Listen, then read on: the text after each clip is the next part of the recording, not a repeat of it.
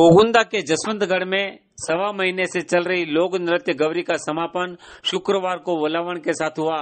इस मौके पर महाराणा प्रताप सर्कल पर विशेष गौरी नृत्य कार्यक्रम आयोजित हुआ,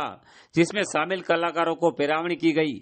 गौरी की शोभा यात्रा महाराणा प्रताप सर्कल से शुरू हुई, जो हाथी पर सवार होकर गोरजिया माता की शोभा यात्रा की सवारी थाली मादल की थाप पर नाचते गाते गौरी कलाकारों की टोली जैसे जैसे आगे बढ़ी, वैसे वैसे ग्रामीणों का जनसैलाब भी जुड़ता गया।